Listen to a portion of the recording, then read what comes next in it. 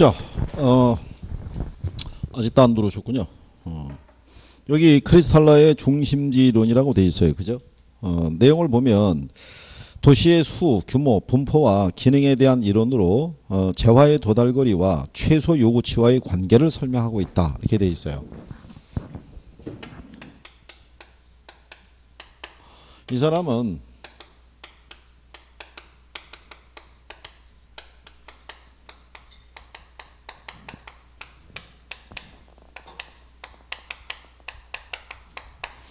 재화의 도달거리와 최소 요구치의 관계를 토대로 아, 도시의 수, 규모, 분포, 아, 기능 등을 설명하는 이론이에요. 이게 아, 그러면 뭐를 이해하면 되냐면 제목을 이해하면 돼요. 이게 중심지론이죠. 중심지. 이 중심지라는 게 상점을 얘기할 수도 있는데 이 중심지라는 거는 도시를 지칭하기도 해요. 도시. 그러면 여러분들은 도시의 기능에 대해서 뭐 기억나는 거 있나요? 도시의 역할? 도시? 도시는 많은 사람들에게 교육이나 취업이나 금융이나 행정이나 교통 등의 서비스를 제공해 주는 게 도시예요. 그죠? 그러면 서비스 산업은 몇 차 산업이에요? 음, 그러니까 얘가 상업 입지론이에요. 무슨 말인지 아시겠죠? 그래서 중심지론이 무슨 입지론? 상업 입지론이라고 얘기하는 거예요. 그러면 여러분들이 예전에 우리가 따져봤을 때 음,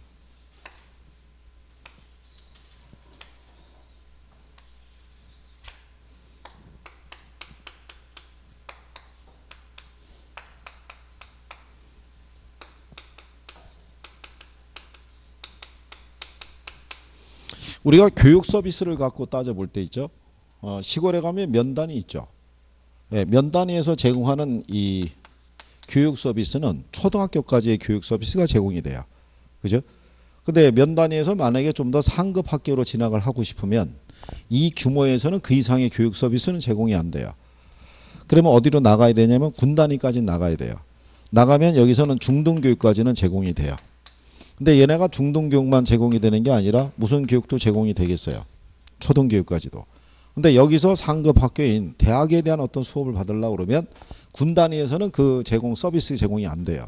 그럼 최소한 시단이 있죠. 도청 소재지가 있는 쪽까지는 나가야 돼요. 그러면 여기서는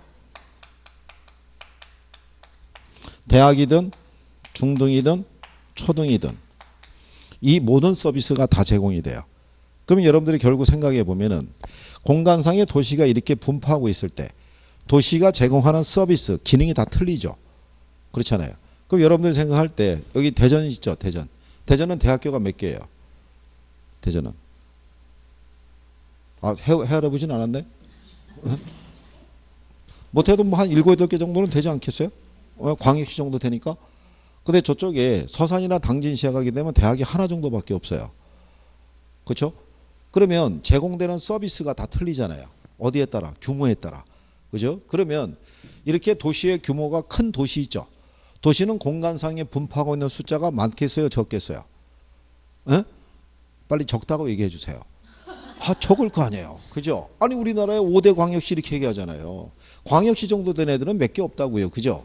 대신에 소도시는 무진장에 많이 있잖아요. 그러니까 이 크리스탈라는 사람이 1930년대에 남부 독일을 쭉 여행하다 보니까 규모가 큰 도시는 공간상에 분포하는 숫자가 작고 멀리 멀리 떨어져 있는데 규모가 작은 도시들은 서로 이렇게 인접해서 붙어 있더라 이거야. 많은 수가 존재하고. 그왜 그게 그런 식으로 분포가 되는지를 갖다가 이 사람은 재화의 도달거리와 뭐를 가지고 최소 요구치를 가지고 설명을 해준 거예요. 뭔 말인지 아시겠어요? 어, 그러면 아니 오전에 또 어떤 일 있어요? 아, 볼 일이 있으셔갖고 그렇군요. 아, 오늘은 참 그렇군요. 한 분은 저쪽에 추천해서 오셨고 한 저녁 한 분이 또 오전에 오셔가지고 어 그래요. 그럼 또 오늘 또 저녁에 가면은 저 오붓 하겠네요. 또 맞아. 자, 그래. 하여간 지금 현재는 여기 대전이 제일 가족적인 거예요. 제가 지금 강의 나가는 주 기준 했었을 때 그죠? 음. 자 그러면 용어를 알아야 되잖아요. 최소 요구치라는 게 있고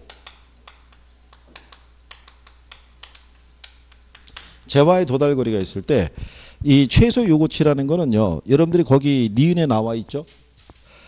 중심지 기능이 유지되기 위해서 필요한 최소한의 고객수 또는 상권의 범위를 말한다 이렇게 돼 있죠. 그러니까 이게 중심지 즉 상점이나 도시가 유지하기 위해서 필요한 최소한의 인구수 또는 고객수를 얘기하는 거예요. 그걸 우리는 뭐라고 그런다? 최소 요구치라고 그래요. 여러분들 가만히 보시게 되면요. 지방 도시로 갈때 초등학교가 폐교되는 데가 늘어나죠. 그러면 걔네가 폐교되는 이유는 무엇 때문에 폐교되겠어요? 그렇죠. 인구수가 적어서 그런 거예요.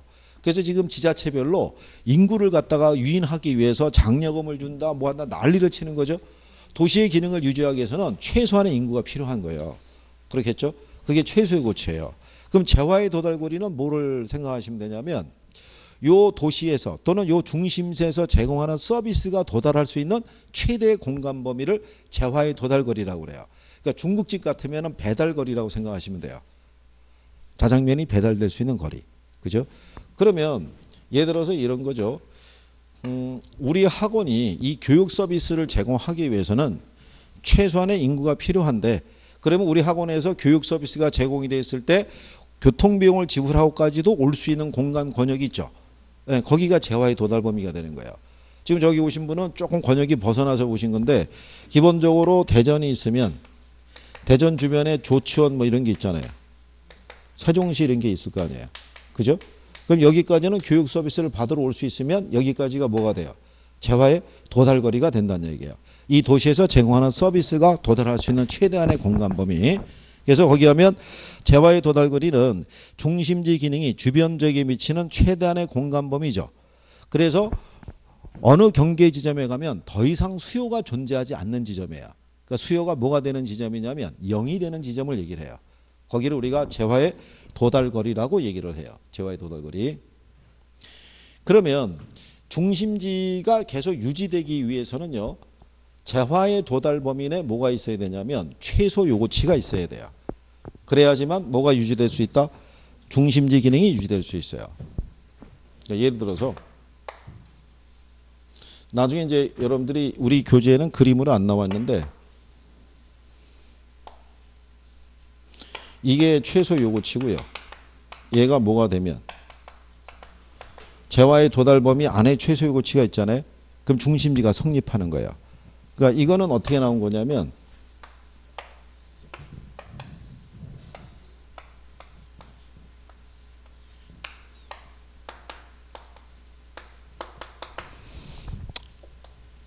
여기 있는 요게 뭐냐면 손익분기점이에요. 손익분기점은 이제 비용과 수익이 같아지는 점이죠. 이 점을 넘어서면 뭐가 발생하겠어요? 그렇죠. 이윤이 발생하는 거예요. 그러면 가령 예를 들어서 여기 우리 학원이 있는 거예요. 우리 학원이 이 중개사 교육 서비스를 계속 제공하기 위해서는 여기가 지금 서구인가요? 네. 그러면 대전 서구에 있는 사람들만 수강생으로 확보해도 충분히 유지가 되는 거야. 근데 우리 학원에 강의를 들어오는 사람들이 있죠. 이게 여기 B가 뭐냐면 얘가 지금 최소 요구치인 거예요. 뭐가 된다? 최소 요구치. 그럼 A가 뭐가 되냐면 재화의 도달거리가 되는 거예요. 근데 우리 학원에 강의 들어오는 사람은 대전 전역뿐만이 아니라 조치원이라든가 또는 세종시라든가 저 멀리 춘천에서까지도 오고 계신 거예요. 그러면 재화의 도달 범위와 최소 요구치 사이에도 요 면적이 있죠. 요건 뭐가 발생하는 면적이었어요? 이윤이 발생하는 면적일 거 아니에요. 더 많은 수강생들을 확보할 수 있으니까. 대전 서구에 있는 사람들만 수강생으로 확보해도 이 학원은 유지가 된다는 거예요. 그 지점이 뭐가 된다? 최소 요구치. 근데 우리 학원에 강의 들어오는 사람들은 여기를 벗어나서 여기서도 오는 거예요. 그럼 그 이상의 수강생들이 들어오니까 그럼 뭐가 발생하는 면적이 돼요? 이윤이. 그러면 얘를 돌리면 이게 원이 나올 거 아니에요. 그렇죠? 그러니까 재화의 도달거리 내 뭐가 있을 때 최소 요구치가 있으면 중심지가 성립을 하는 거야. 무슨 말인지 하시겠어요? 그럼 반대로 아, 여기가 B가 되고 얘가 A가 됐어요. 이게 최소 요구치고 이게 재화의 도달거리일 때 우리 학원이 유지되기 위해서는 최소한 대전 전역에 있는 사람들은 수강생으로 확보해야 돼요.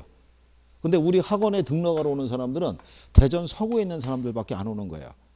그러면은 최소 요구치와 재화의 도달 범위 사이에 있는 이 면적은 뭐가 발생하는 면적이었어요?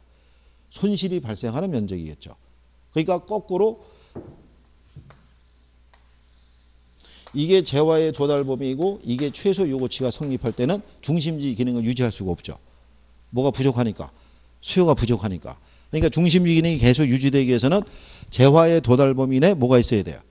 최소 요구치가 있어야 되는 거예요. 그게 134페이지 맨 마지막 조건이에요.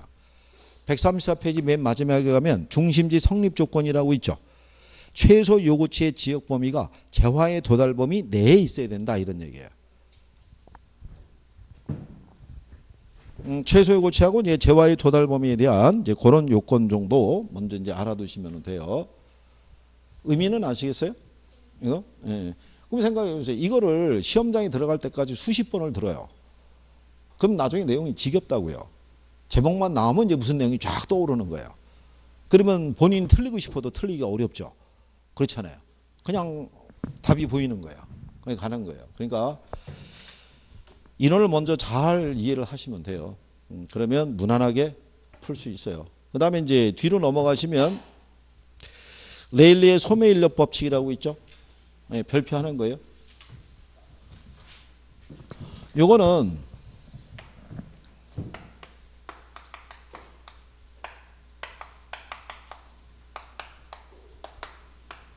요거는 이제 상권을 분석하는 이론인데 아, 먼저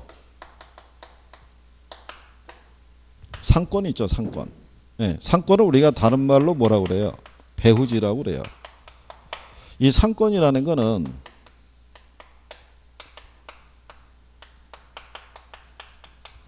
아, 고객이 존재하는 공간이자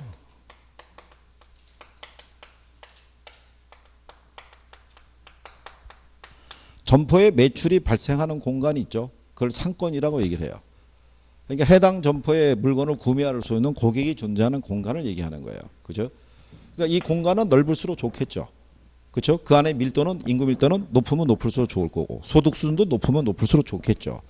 그럼 이런 상권이라는 거는 고정적이 되겠어요? 유동적이 되겠어요? 에? 상권은 고정적이 되겠어요? 유동적이 되겠어요? 에? 고정을 버려보세요. 아, 유동적이 되죠, 유동적이. 처음에는 다 초이스하면 항상 빗맞게 돼 있어요. 그죠?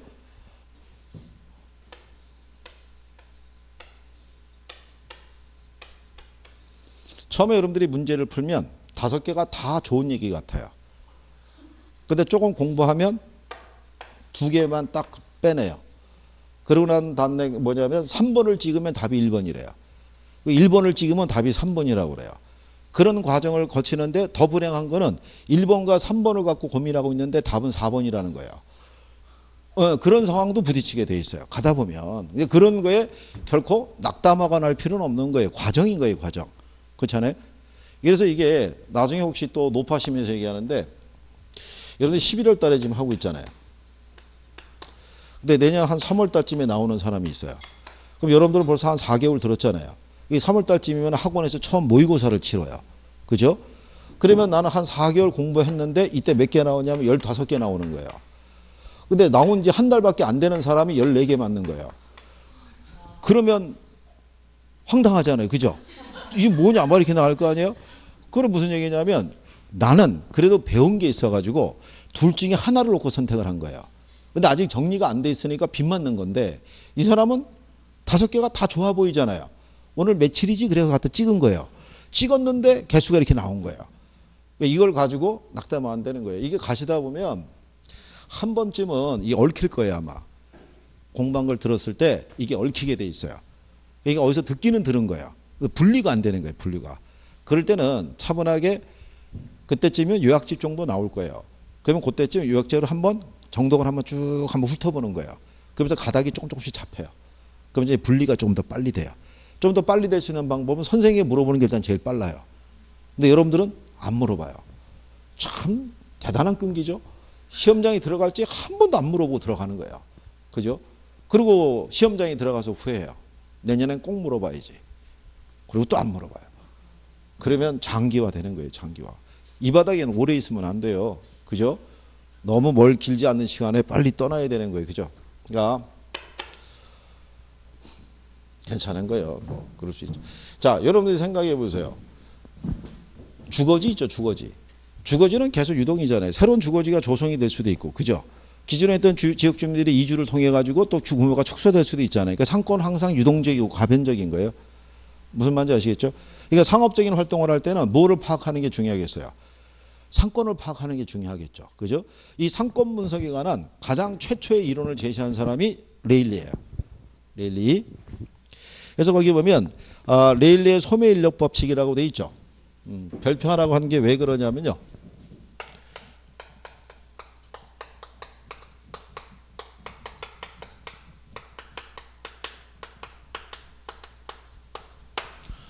아, 이 사람이 상권 분석에 가서는 최초로 이론을 제시한 사람이에요. 그래서 이게 원래 그 이론에서는요, 어, 학문적인 성격에서는 최초가 제일 중시해요. 최초가 있기 때문에 걔를 비판하는 이론도 나온다고 보는 거예요. 그러니까 문제를 낼 때 기초적으로 얘가 기본으로 돼서 나와요. 그래서 여러분들에게는 계산 문제가 레일리가 있고 뭐가 있으면 허프가 있으면 올해 허프가 나왔어요. 27회 26회가 레일리가 나왔어요. 25회 때가 허프가 나왔어요. 24회 때가 레일리가 나왔어요. 이런 식으로 크로스의 개념인 거예요. 얘네들은. 둘 중. 그래서 요즘은 상업 입지론에서 이론이 안 나오고 있는 거야. 이론이 안 나오고 계산 논리로만 왔다 갔다 왔다 갔다 하고 있는 거예요, 지금. 그러니까 올해 얘가 나온 거죠. 허프가. 그러면 얘가 한 번 더 나올 수도 있고 둘 중에 하나인 거예요. 만약 계산 문제가 나오면 여기서. 근데 얘네 계산 문제는 안 어려워요. 계산 문제는. 얘네 정도는 저기 그 연세 많으신 분들도 얘들은 해볼 수 있다 이렇게 얘기를 하는데 그렇잖아요. 예, 그러니까 시간이 지나면 해소가 돼요. 그죠? 예, 그래서 레일리에 대한 이 소매 인력 법칙은 아이작 뉴턴의 만류인력의 법칙을 인용한 거예요. 그죠? 두 물체 간에 끌어당기는 인력이 있죠. 예, 그거는 질량의 크기에 비례하고 거리의 제곱에 반비례한다라고 우리가 얘기하죠. 근데 그게 뉴턴이라는 사람이 우리가 예전에 학창 시절에 어린이집을 볼때 보면 사과나무 밑에 앉아 있다가 사과가 쿵 떨어지는 걸 보고 만류인력의 법칙을 이 사람이 딱 느꼈다고 그랬잖아요. 어떤 사람이 사과 떨어진 거 하나 보고 그거를 다 만들어냈겠어요. 그거를 기초로 해서 7년을 연구를 했대요. 그래서 만들어진 게 만류인력의 법칙이에요. 이게 그러니까 그러니까 여기서 두 물체 간에 끌어당기는 유인력이 있죠. 유인력은 크기에 비례하고요. 거리의 제곱에 뭐 한다는 거예요? 반비례하는 거예요. 물체를 끌어당기는 유인력이 있죠. 끌어당기는 힘은 이 사람은 아이작 뉴턴의 만류인력의 법칙이 있죠. 이거는 질량의 크기에 비례하고 어디에 반비례한다. 거리의 제곱에 반비례한데 이 질량이라는 거를 이 사람 뭘 제시하냐면 인구를 제시한 거야. 인구의 크기를. 그래서 이 크기에 비례하고 거리의 제곱에 뭐 한다? 반비례하는 거예요. 그러니까 크기가 크면 클수록 유인력이 커지는 거예요. 거리가 가까우면 가까울수록 유인력이 커지는 거예요. 멀면 멀수록 유인력이 떨어진단 말이에요. 무슨 말인지 아시겠나요? 일단 요게 기초예요. 그래서 뭐가 클수록 크기가 클수록 유인력이 커지는 거예요. 거리는 어떻게 돼요? 짧을수록 유인력이 커지는 거예요. 그래서 거기 레일리의 소매 인력 법칙을 보시면 두 번째 줄에 이렇게 돼 있죠. 밑줄 치시는 거예요. 두 중심지 사이에 위치하는 소비자에 대해서 상권이 미치는 영향력은 그 두 중심의 크기에 비례하고 거리의 제곱에 뭐 한다? 반비례한다는 거예요. 그죠? 그거를 또 바꿔줘요. 비례하고 반비례를. 시험에서 출제할 때.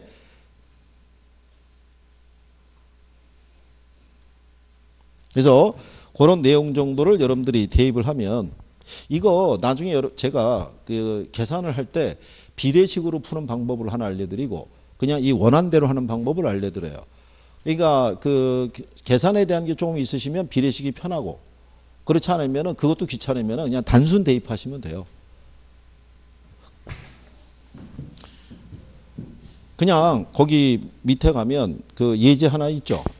예제 예제 보시면 그냥 이대로 가시면 돼요. 요거 자체가 공식이에요. 그죠? 음. 여기가 거리의 제곱이고 얘가 크기잖아요. 그죠? 이거를 뭐를 대입했냐면 인구라고 그랬잖아요. 그죠? 그럼 거기 보면 A 도시의 유인력과 B 도시에 대한 뭐 예, 유인력을 우리가 대입을 해보면 이걸 다 준다 안 준다 다 줘요. 그러면 여러분들이 거기 보시면 A 도시는 인구가 몇만이에요.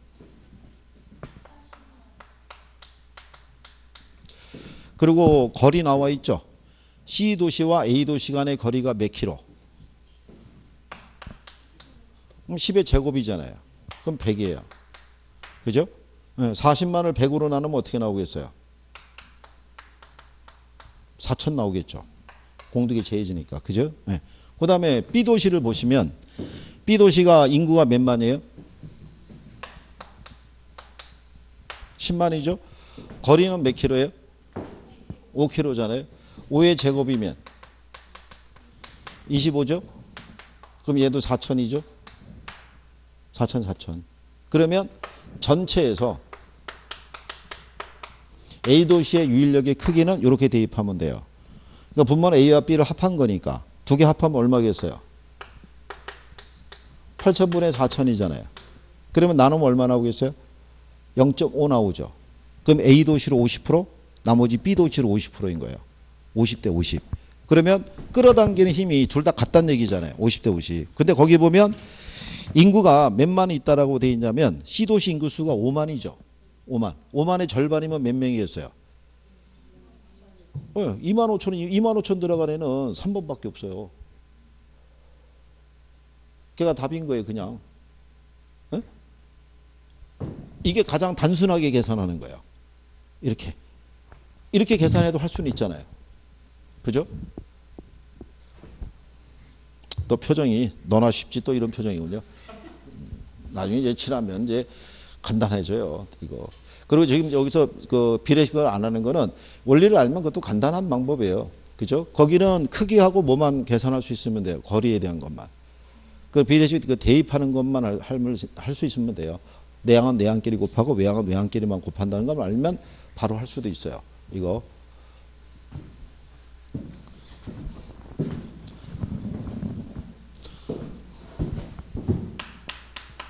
A가 있고 B가 있잖아요. 그죠? 그 A 도시는 몇 만이냐면 40만이죠. 얘는 몇 만이에요? 10만. 그럼 얘가 몇 배가 커요? 4배가 크다고요. 그죠? 근데 거리를 보게 되면 A가 10km고 B가 몇 킬로예요? 5km잖아요. 그죠? 네, 그러면 얘가 지금 몇 배가 더 얘가 거리가 멀은 거예요. 두 배가 멀은데 거리의 제곱이니까 얘도 4가 된다고요. 무슨 말인지 아시겠어요? 이렇게 나온다고요. 그러면 내양을 곱하면 얘 4 나오죠. 외양을 하면 4 나오죠. 4 대 4니까 1대 1이란 말이에요. 50 대 50. 그냥 이게 나중에 하면 또 그렇게 도 갈 수 있다는 거예요. 예? 그러니까 식을 변형해서 한 거예요. 이게 정확하게 한 건 아닌데 요 식에 맞춰서만 만드는 거예요. 그래서 나중에 저기 요령을 알면은 계산기 안 써도 돼요. 단순 대입이에요. 단순 대입. 그죠? 1분 안에 풀게끔. 근데 그게 나중에 하다 보면 저게 또 이제 이게 어, 기초가 잘 안 되는 분들은 이게 또 어려울 수도 있어요. 그럴 땐 그냥 단순하게 이렇게 대입해도 돼요. 숫자 다 주니까. 그리고 연습해 보면 돼요. 그래서 음 나중에 이제 여러분들에게 계산 문제를 추려 가지고 제가 쭉 정리를 해 드려요. 어, 해드리는데 이제 선생님이 추천하는 문제가 있어요. 추천하는 문제는 뭐냐면 계산기 필요 없고 암산으로 풀 수 있는 문제. 예, 이런 걸 이제 얘기를 해줘봐요. 푸는 게 이렇게 푸는 거라고. 그 중에 자신 있는 것만 갖고 들어가면 돼요. 다 못 풀어도 돼요. 그죠? 계산 문제를 다 못 푼다고 그래서 60점이 안 나오고 그런 거 아니에요. 그죠? 이런만 잘해도 6점이 나와요.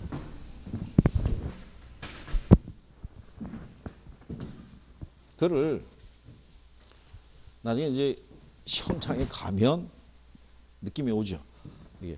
그래서 제가 그 현재 강의하는 쪽에서는 제일 오래 하고 있는데 한 5년째 강의하고 있는데 그죠? 그러면 같은 지역에서 한 5년씩 강의하려고 그러면 그죠? 웬만큼은 성과가 있어야지 계속 강의할 거 아니에요. 성과 없는데 계속 강의할 수는 없는 거 아니에요. 그러니까는 오래 강의한 데서는 하자는 대로 다 해요. 얘기한 대로. 왜 그러냐면 1차만 합격한 사람들 있잖아요. 그러니까 2차 공부할 때 같이 공부할 거 아니에요.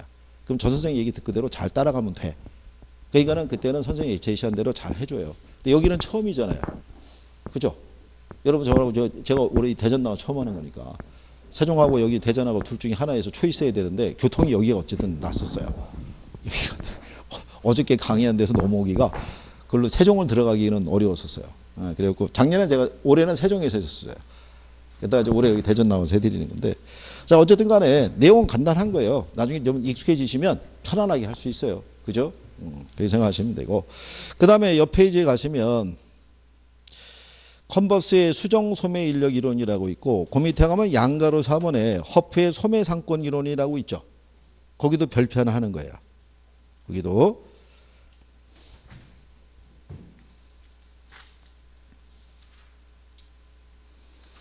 자 그러면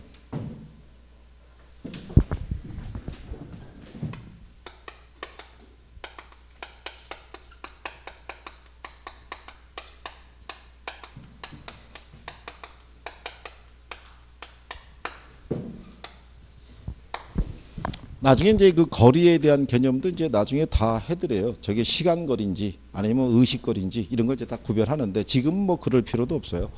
그러니까 허프의 확률 모 현상에서는 이런 거예요. 저기 있는 레일리의 모형은요. 농촌 지역의 소규모 도시를 대상으로 분석을 한 거예요. 딱 두 개의 도시만 갖고. 근데 허프의 모형은 대도시 있죠. 대전만 하더라도 쇼핑몰이라는 게 하나만 있는 건 아닐 거 아니에요. 여러 개가 있을 수 있어요, 없어요? 여러 개가 있다고요. 그러면 만약에 A, B, C가 있을 때 얘가 각각의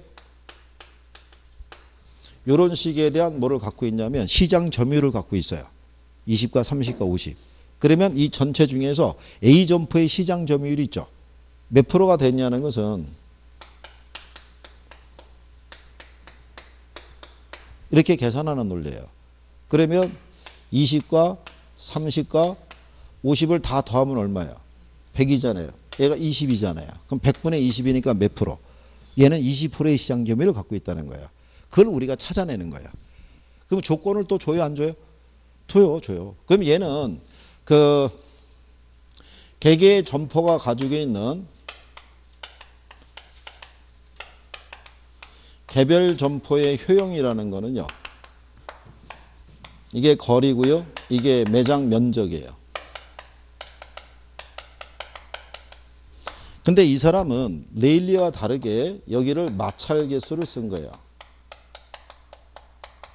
공간을 이동할 때 발생하는 마찰 그 개수의 값을 우리가 제시를 한 건데 원래 이 허프 모형에서는 이 마찰 개수의 값을 계산을 해야 돼요. 계산을 해야 되는데 계산이 복잡하단 말이죠. 그래가지고 마찰 개수의 값은 여러분들에게 줘요. 근데 이 마찰 개수는 1도 될 수 있고 2도 될 수 있고 3도 될 수 있고 다양해요. 이게 근데 여러분들에게는 주로 뭐를 주냐면 2를 줘요. 그러니까 이 조건을 줘야 돼요. 1인지 2인지 3인지를 줘야지 우리가 계산할 수 있는 거예요. 여러분들 예전 시험에 마찰 개수의 값을 빼고 줘가지고 전항정답 처리된 적이 있어요. 음, 그때도 제가 매년 시험장 들어가서 알아요. 그때 제가 풀어봐서 알아요. 풀어보는데 마찰 개수가 없는 거예요. 근데 아마 그때 웬만한 학생들은 그 있는지 없는지도 몰랐을 거예요. 거기 없었어도 알아서 일을 대입해서 알아서 계산했을 거예요, 아마. 어쨌든 간에 전항정답 처리됐었어요, 그때. 그래서 여기는 이렇게 해서 마찰 개수의 값에 대해서 대입을 해서 이걸 구하면 돼요. 근데 이것도 저 논리하고 별반 다를 거 없어요. 단순 대입이기 때문에. A 점포는요.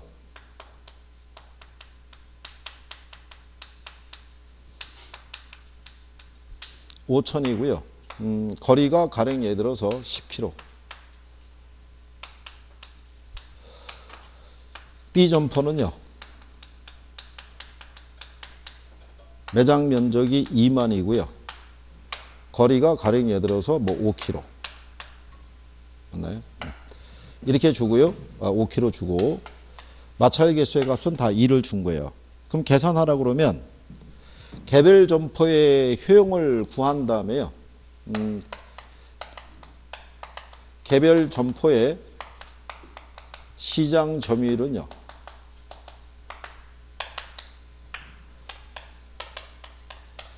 개별 점포의 효용의 합계와 합계해서 개별 점포의 효용을 대입하는 게 수식은 이렇게 돼 있는데 계산할 때는 대입할 건 간단해요. 그러면 우리가 개별 점포에 뭐를 구해야 돼요? 효용을 각각 구해야 돼요. 그럼 얘는 이걸 대입하면 이게 5천이잖아요. 그죠? 얘가 몇 킬로예요? 그러면 제곱이잖아요. 2를 줬으면 얼마예요? 100. 그럼 얼마 나오겠어요? 50 나와요. 그러면 얘는 2만이잖아요. 아, 이게 20kg인가 줬을 거예요. 20kg였나요? 그럼 이게 400인가요? 그죠? 그럼 얘도 나누면 얼마 나와요? 50이 나오죠? 그죠? 그러면 당연히 A와 B의 각각 시장 점유율이 몇 프로겠어요? 그렇죠. 그냥 계산해 보나마나 50이잖아요. 그렇죠?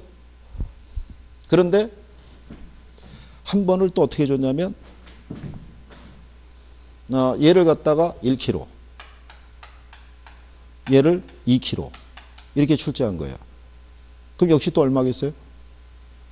똑같은 거예요. 똑같은 거. 참고로 허프의 확률 모형의 계산 논리는요. 한 번을 제하고는 다 50%만 줬어요. 한 번을 제가 몇 프로만 준다? 50%. 그 선생이 나중에 급할 때 얘기하는 거예요. 안 되면 계산할 시간이 없으면 찍어라. 단 몇 프로를 계산해서 50%로 맞춰서 찍어라. 음, 그러면 답이 나오는 거예요. 그게. 이런 식의 계산인 거예요. 그러니까 나중에 이게 익숙해지잖아요. 그냥 거의 암산 수준으로 가요. 예, 일부러 맞춰주는 거예요. 출제자들이. 몇 분 안에 풀어야 되니까. 1분 안에. 올해 계산 문제가 어렵다고 얘기한 사람들은 참 왜냐하면 출제자들이 방향을 바꿔서 몇 개 더 냈잖아요. 그러니까 간평적으로 이 좀 새롭게 나온 용 간평적으로 몰아버리고 나머지는 그냥 기본적인 배열로 준 거예요. 그러니까 가다가 계산 문제가 걸리면 절대로 거기서 풀면 안 돼요. 계산 문제는 마지막에 푸는 거예요. 이론을 먼저 풀어야 돼요. 이론을 가지고 몇 번까지 가야 돼요. 40번까지 가야 돼요. 그러면 1분 안에 풀 수 있는 문제들이 뒤에 숨어 있어요. 걔들은 확실하게 맞춰야 되잖아요. 그리고 밑법까지 넘어가서 80번을 다 푼 상태에서 더 이상 이론을 갖고 풀어봐야 찍는 것밖에 안 될 것 같다 싶으면 그동안에 배운 것 중에서 내가 자신 있는 계산 문제만 풀어보는 거예요. 풀리면 걔가 확실하게 맞는 거니까. 이게 이건 실전이니까 요령인 거예요, 요령. 우리는 시간 내에 풀어서 몇 점만 맞으면 돼요. 어, 6점만 맞으면 되는 거예요. 이거 제가 여러분들에게 강의하는 거는 60점을 맞을 수 있는 방법론만 알려드리는 거예요. 그래서 제가 눈에 얘기하는 게 합격한 다음에 열심히 공부했다는 거예요. 그렇지 않겠어요? 계산하는 것도 이것도 저희가 일본에 할 수 있는 그 방법을 구, 고안을 해갖고 그걸로 안- 알려주는 거지. 이걸 정상적으로 풀려고 그러면 못 풀어요. 이거. 여기 산식대로 풀려고 그러면. 그죠? 그러니까 음, 간단하게 그렇게 해서 생각하시면 되는 거예요. 그래서 단지 거기 138페이지 가면 거기 예제 하나 있죠. 지금 우리가 푸른 거예요. 그죠? 거기 기출이죠. 기출이잖아요. 138페이지에. 그러면 할인점 면적 5천 2만이고 1kg 2kg 줬잖아요. 그죠? 그러면 여기서 이제 허프 모형에서는 그래서 뭐를 주냐면 함정을 하나 파나요. 거기 보면은 인구가 10만 명이 있잖아요. 그죠? 10만의 절반이면 5만이 돼야 되는데 문제 조건은 10만 중에서 70%만 이용한다고 가정하는 거예요. 그럼 10만에 70% 이용하면 몇 만이겠어요? 7만의 절반이면 3만 5천이죠. 예, 그러니까 3만 5천을 찾아야 되는 거예요. 그러면 3만 5천이 몇 명밖에 어디밖에 없어요? 1번밖에. 근데 5만 명도 들어가 있죠. 예, 이거는 뭐냐면 그거를 놓친 사람들을 위한 함정이죠. 조건을 못 읽은 사람이 그렇잖아요. 그 다 풀어놓고 이 조건을 깜빡해가지고 2번을 갖다 마킹하면 얼마나 억울하겠어요. 그죠? 그러니까 이런 거를 안 놓치는 게 중요한 거예요. 이런 거를. 아, 이게 이제 이렇게 다, 어, 계산할 것도 없이, 그러니까 그렇게 나간단 말이에요. 그러니까 계산이 기본으로 되는 사람들은 선생님 걱정을 안 해요. 뭘 초이스 하라 말아 하나요. 본인이 알아서 다 해요. 근데 우리는 항상 그렇지 못한 사람도 배려를 해야 되는 거죠. 그죠? 그러니까 이제 그 사람들에게는 가장 간단하게 또 할 수 있는 것도 같이 하는 거예요. 그렇게 해서 합격을 하면 계산 문제 내가 다 풀고 합격했다는데 누가 뭐라 그러겠어요. 그죠? 그렇잖아요. 그 사람이 60점을 맞고 합격했는지 90점을 맞고 합격했는지 어떻게 알겠어요. 여러분밖에 모르지. 그냥 했어요. 그러니까 무난하게 될 수 있는 그래서 혹시 높아시면서 얘기하는데 개인적으로 나는 계산이라고 그러면 참 학을 떼는 사람인데 계산 때문에 어떻게 하면 좋을지 모르겠다 그런 분들은 지레 겁먹을 필요 없어요. 계산을 여기서 이 수학적인 원리 이런 거 내는 거 아니에요. 이게 산술적인 거 내는 거예요. 산술적인 거. 그러니까 할 수 있는 것만 하시면 돼요. 할 수 있는 것만. 그러면 무난하게 할 수 있어요. 무난하게. 아직은 뭐 입문 과정이니까 계산 이런 거 뭐 안 하는 거죠, 지금. 이것도 지금 안 할까 그러다가 그래도 오늘 뭐 저녁에서도 올라오시고 그러고 그랬죠. 멀리서도 오셨는데 그래서 이제 간단하게 한번 해보는 거예요. 원리만 알면 간단해요. 그러니까 이게 계산 잘하시는 분들은 성적이 막 80점, 90점 훅훅 넘어가는 거예요. 그렇잖아요? 10개 나오면 몇 점이에요? 25점인데. 그럼 이론으로 6점 맞은 사람이면 80점 되잖아요. 7점 맞은 사람은 90점이잖아요. 그래서 학계론이 매년 만점자가 나오는 거예요. 만점자가 쭉 해서. 그죠? 근데 우리는 만점을 이미 양보했잖아요. 그렇죠? 우린 뭐 한 70점만 목표로 하면 돼요. 그죠? 무난하게. 그러면 충분해요. 자. 그 다음에 이제 138페이지 보시면 하단에 공간 균배 원리와 점포의 분류라고 돼 있죠. 이거는 이렇게 정리를 하세요.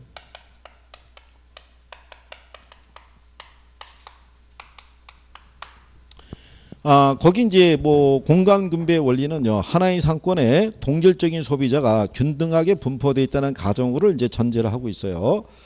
자, 그럴 때 이 논리는 이런 거예요.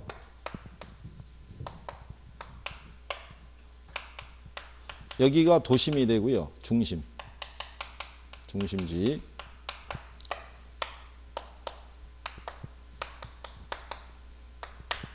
여기가 상권이라고 얘기를 해요. 그러면 여기 설명 나와 있는 거에 대해서는 크게 신경 안 쓰시고요. 이 조건대로 본다면 도시 이 공간상에 점포가 입지를 해야 될 거 아니에요.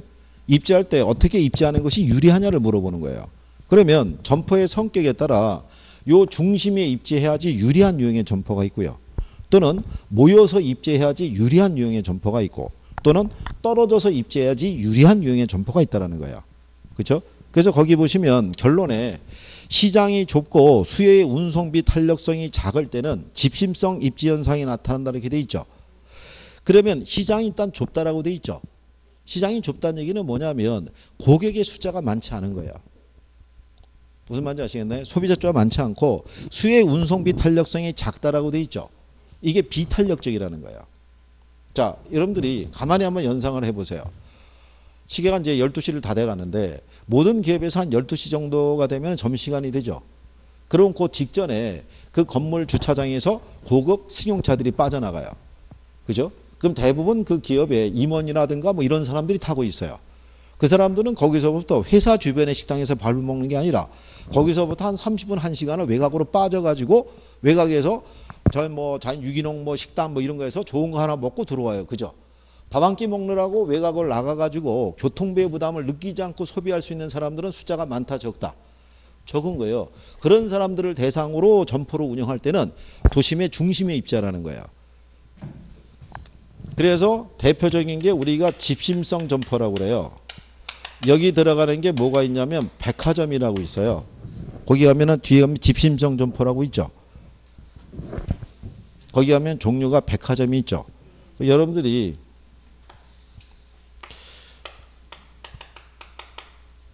(80년대) 서울 있죠 서울 서울에는 모든 백화점이 명동에만 있었어요 명동에만 그러면 그때 당시에는 왜 명동에만 위치를 했냐면 80년대는 우리나라의 소득 수준이 그렇게 높을 때가 아니었었어요. 그래서 사람들이 교통비용까지 지불하고서 명동까지 나가서 백화점에서 물건을 산다는 것은 아무나 살 수 있는 게 아니었었어요. 그리고 그때 당시에 양주를 한 병 선물하더라도 동네 무슨 뭐 연세점에서 그 까만 비닐봉투에 담아서 주는 거 하고 백화점에 가서 백화점 쇼핑백 있죠. 여기에 담아서 주는 거하고 성의가 틀린 거예요. 같은 양주더라도 백화점 쇼핑백에 담긴 애가 훨씬 고급스러워 보이는 거예요. 그러니까 이때는 뭐 롯데나 미도파나 그때 없어진 미도파나 다 여기 있던 거예요. 그러면 여기는 서울의 모든 지역에서 뭐가 통과하는 지역이에요. 교통이. 교차하는 점이란 말이에요. 그러면 이때는 서울에서 백화점 명동까지 가서 물건을 구매할 수 있는 소득이 높은 사람이 있죠. 그 사람들은 지역별로 소수만 있던 거예요. 이렇게. 그럼 지역에 이렇게 흩어져 있는 사람들을 교통의 중심지에서 끌어모아야죠. 그래야지 매출이 유지가 될 거 아니에요. 그러니까 그때는 지점을 못 내는 거예요. 지점을 내면 매출이 발생할 수 있어요, 없어요?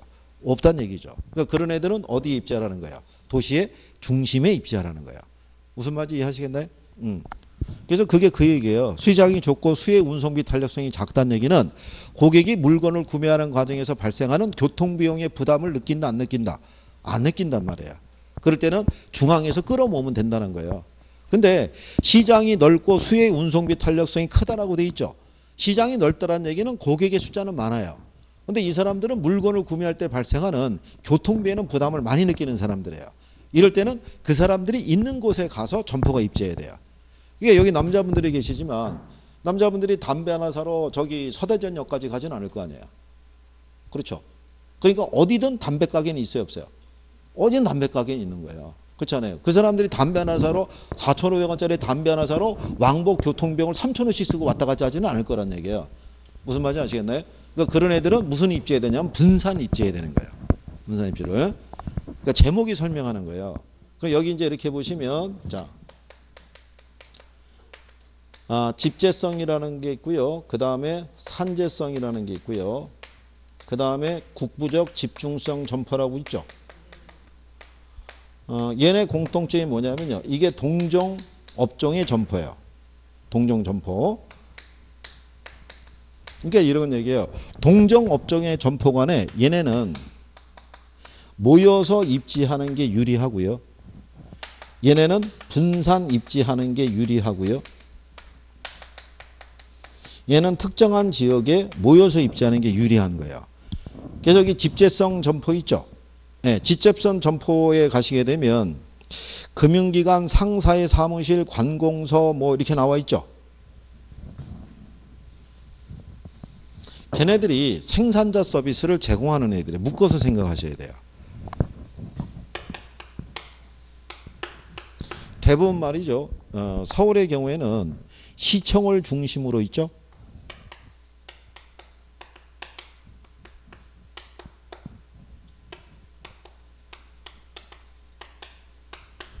얘네들이 거의 그 주변에 모여 있었던 거야.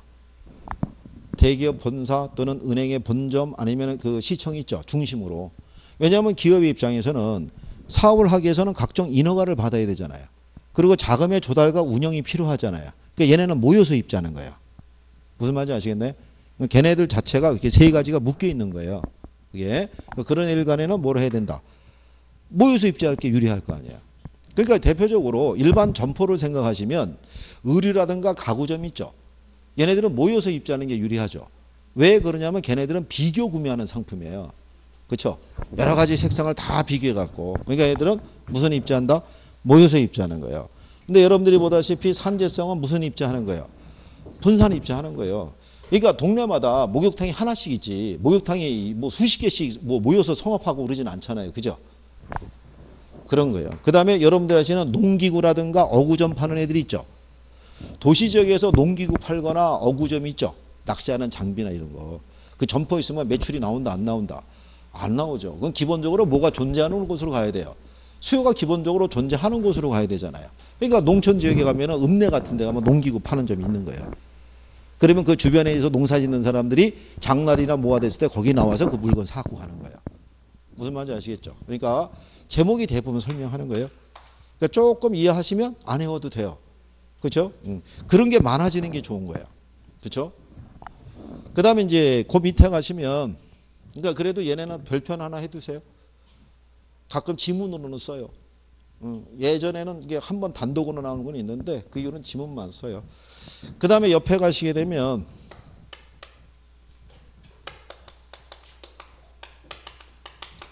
편의품이라는 게 있고요. 선매품이라는 게 있고 전문품이라고 있어요. 네. 근데 그 먼저 140페이지 가시면 디귿에 편의품점이라고 돼 있죠. 상단에 거기 가시면은 convenience goods라고 돼 있죠. 여러분들 알고 있는 이 편의점 있죠. 네, 편의점이 convenience store예요. 그러니까는 일상에 생필품 파는 점포예요. 가격 비싸다 싸다 싼 거예요. 물건 살 때 크게 신경 안 써요. 그죠? 여러분들이 편의점에 가서 컵라면 살 때 컵라면의 미래 이런 건 걱정하지 않잖아요. 그죠? 바로 바로 사잖아요. 그런 점포예요. 근데 이게 앞으로 앞페이지로 돌아오시면 선매품이라고 돼 있죠. 선매품은 쇼핑굿이라고 돼 있어요. 여자분들이 왜 아이 쇼핑한다는 표현 많이 쓰시죠? 그게 비교 구매하는 거예요. 눈으로 여러 개를 보고 비교 구매하는 거. 걔네들이 선매품이에요. 그러니까 의류라든가 가구라든가 이런 거 들어가죠. 뭐, 뭐 이해하시겠어요? 예. 그다음에 specialty goods라고 그래서 얘는 전문품, 소위 말해 명품, 브랜드 이런 거 생각하시면 돼요. 이런 거는 이거 가장 구매 빈도가 떨어지죠. 근데 이윤율은 제일 크죠. 그러니까 나중에 이제 그 제목에 대한 거를 내가 이해하면 아 여기서 취급하는 게 어떤 상품 취급한다는 걸 내가 대충 유추해요. 그죠? 그러면 내가 그냥 알아서 구별할 수 있는 거예요.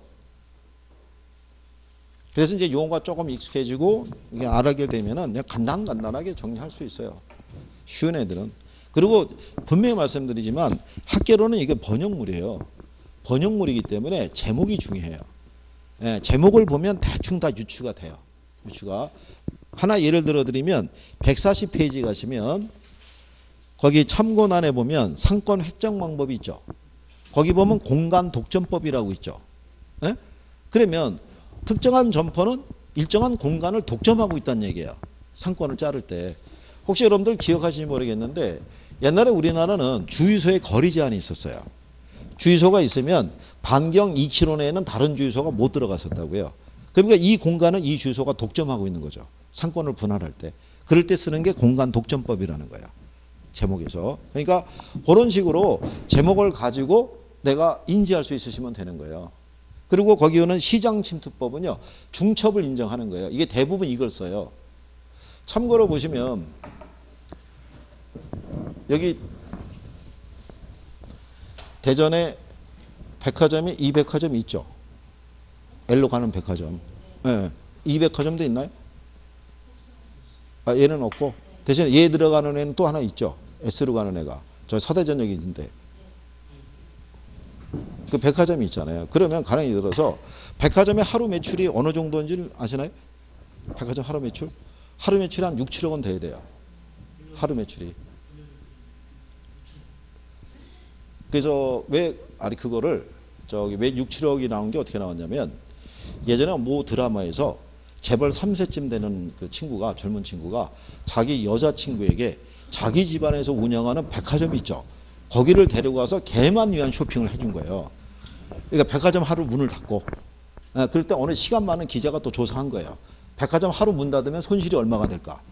그래서 그 사람이 조사해서 나온 게 6, 7억이었었어요. 하루 매출이. 그게 서울의 목동에 있는 H백화점 기준으로 조사했었을 거예요. 그죠? 그러면 6, 7억 정도가 발생하려고 그러면요. 고객 인구가 최소한 30만 이상은 돼야 돼요. 주변에. 그래서 가만히 보시면 도시의 인구 규모가 30만을 훨씬 넘지 않으면 백화점이 없어요. 여러분들 아시는 저기 세종시가 25만이에요. 거기 가면 백화점 부지는 있어요. 근데 안 들어서고 있어요. 그게 30만이 딱 채웠다고 해서 들어서는 게 아니라 한 50만 뭐 정도 나와야 이제 들어서는 거예요. 그게. 그러니까 천안에 가면 한 50만 규모 되니까 백화점 하나 있는 거예요. S백화점. 그죠? 그런 거예요. 그럼 만약에 생각해 보세요. 이 백화점이 이렇게 했으면 얘 상권의 권역이 있으면 얘도 상권의 권역이 있는 거예요. 매출이 규모가 크니까. 그러니까 어쩔 수 없이 겹치는 적이 있는 거야. 그러니까 이런 애들은 중첩을 인정하는 거예요. 상권을 경계를 나눌 때. 겹치는 데가 있다 이거예요. 그래서 그걸 시장 침투법이라고 얘기하는 거예요. 제목대로. 그리고 분산시장 접근법은 고가의 물품을 우리가 소비할 수 있는 계층은 많지가 않죠. 그러니까 시장이 이렇게 쭉 연결이 안 돼 있어요. 잘려 있다고 생각하시면 돼요. 그래서 여러분들에게는 분산시장 접근법이라는 게 지문으로 한번 나온 거예요. 그게 예, 그래서 용어 정도 조금 음, 인식하시면 음, 정리할 수 있어요. 자. 자, 그래서 뒤로 넘어가셔 가지고 143페이지 가시면 아, 1번에 배보의 공업 입지로 나와 있죠. 예. 거기 가시게 되면 2번에 이렇게 돼 있죠. 최소 비용으로 제품을 생산할 수 있는 것을 기업의 최적 입지점으로 본다고 돼 있죠. 제목이 최소 비용 이론이잖아요. 그리고 기업의 입지연으로 수송비, 인건비, 직접 이익을 제시했죠. 아까 3대 인자라고 그랬잖아요. 이 중에 뭐가 제일 중요하다고 그랬어요? 수송비가. 근데 4번에 봤더니 기업은 수송비, 인건비, 직접 이익의 순으로 각 요인이 최소가 되는 지점에 입지한다니까 이게 틀렸다는 거예요. 수송비하고 인건비는 최소가 되지만 직접 이익은 최대가 되는 지점에 입지를 해야 된다는 거예요. 그러니까 요거는 그 논리 정도를 알면 이제 풀 수 있게끔 구별을 해드린 거예요. 그래서 자 뒤에 가서 3번 문제 한번 봐보세요. 3번 문제 보시면 이렇게 돼 있죠. 시장 문서에 관한 설명 중에서 틀린 걸 물어봤을 때 거기 2번 지문에 가면 소매 중력 법칙에 따르면 소비자에 대한 유인력은 상점의 규모가 클수록 거리가 멀수록 커진다 이렇게 돼 있죠. 아까 우리가 거리는 가까울수록 커진다고 그랬잖아요. 그래서 아까 설명해 드린 거예요. 기본적으로 활용할 수 있으니까. 그래서 그런 내용 정도. 그리고 이제 계산에 대한 건 이제 나중에 우리가 쭉 다 다뤄봐요. 예, 그러니까 그때쯤 정리하시면 돼요. 자, 우리는 이제 149쪽에 가면 지대로는 있어요. 거기 할 거니까 잠깐 쉬었다 들어오십시오.